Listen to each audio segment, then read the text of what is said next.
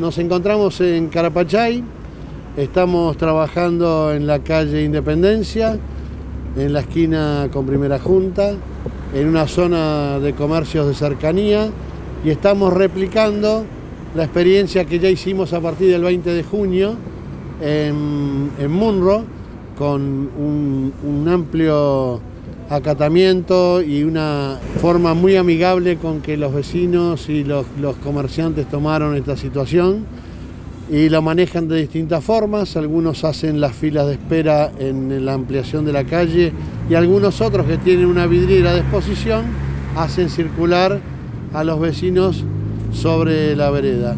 Son tramos cortos, generalmente abarcan 3-4 comercios, que son los que más público tienen en horario pico, Mira, como comerciante es bien porque funciona perfecto para la circulación de la gente, sobre todo para mantener el distanciamiento social y generar la circulación de todos los días, porque la gente se organiza con la cola y la distancia por un lado y el que circula pasa por otro.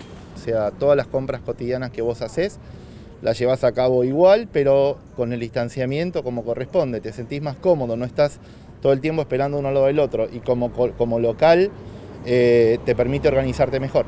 Esta es una idea que Jorge tenía hace rato, vinimos y estudiamos las situaciones, no hay necesidad de aplicarlo en, en veredas anchas, pero en veredas que son angostas, la única solución es sumar parte de la calle, sacrificando el estacionamiento, a la vereda.